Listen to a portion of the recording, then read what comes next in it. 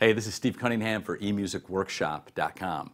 And we're going to do a little lap steel today. This is tuned to an open E chord. And we're going to use a little technique here where we're going to uh, uh, use the E string. The high E string is a drone. Now, um, some of you lap steel guys might notice that I'm using a flat pick in my bare fingers as opposed to the, the traditional thumb pick and metal finger picks. So all of this is applicable. Um, you would just use your index and middle fingers for this, which is going to involve plucking those high two strings. I'm going to be using my second and third fingers, but again, same thing. So what we're going to do here is we're going to create melodies on the second string, the B string, while constantly playing the open E string. So what I'm going to do is I'm going to start off by playing the flat seven, the, the you know the third fret of the B string. Uh, so here's open, flat seven, root, which is the fifth fret, and then the flat third at the eighth fret of the B string. You know, giving it a little bit of a slur towards the major third.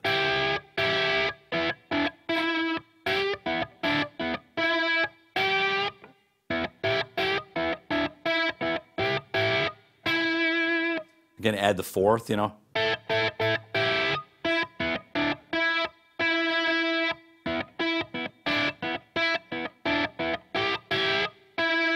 Going to go up and add the fifth.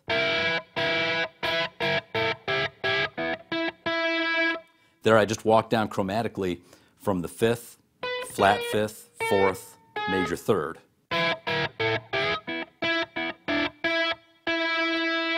Um, what I'm going to do now is I'm just going to add a little blues thing down here. You know, y'all have heard that. And um, just going from the, from the G to the open E.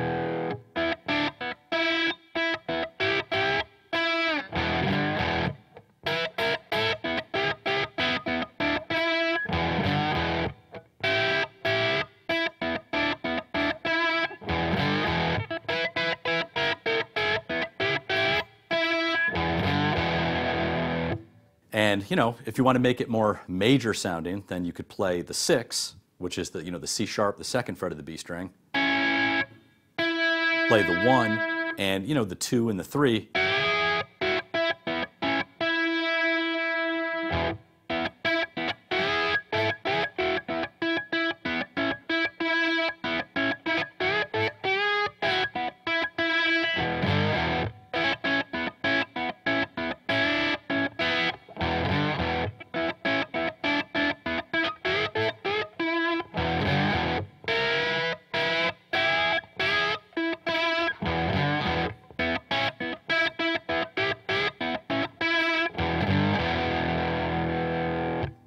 So again, this has been Steve Cunningham for emusicworkshop.com. Thanks for listening.